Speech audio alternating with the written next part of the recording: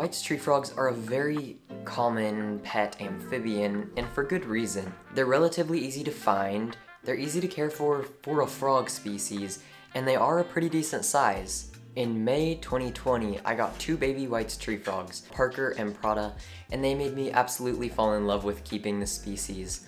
Unfortunately, as you all know, Parker did pass away a few months ago. White's tree frogs are very social animals, and in my opinion, and in my experience, they do best in pairs or groups.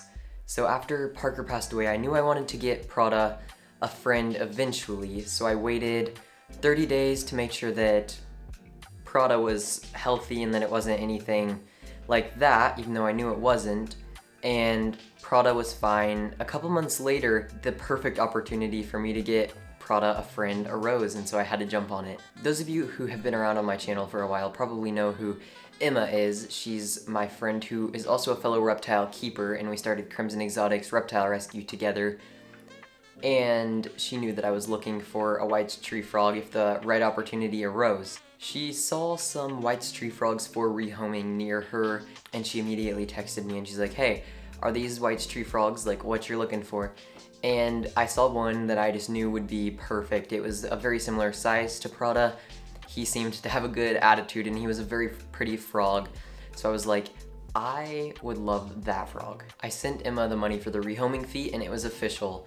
Prada would soon have an awesome new friend.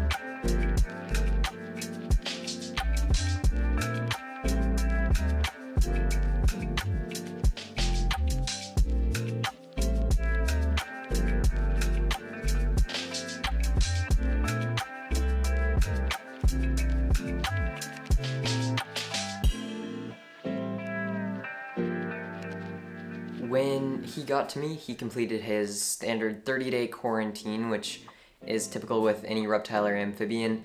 And then, once I knew he was healthy, he was able to move in with Prada. Now, he's a plump white tree frog, but he is like very similar in size, within 5 grams, so there was no risk of him like trying to eat Prada. Not that that's like something I was super worried about, but you know, it's always good to be safe. now they are living in the same enclosure, as happy as can be. This new frog needed a name, of course, and since Prada's name was like kind of fashion themed, I decided I would stick with that theme, so I named him Burberry. He is settling in well, doing great, and Prada now has a new best friend. It's very exciting to see, and they're both doing super well together. I'm very excited to have him as a member of my little amphibian family.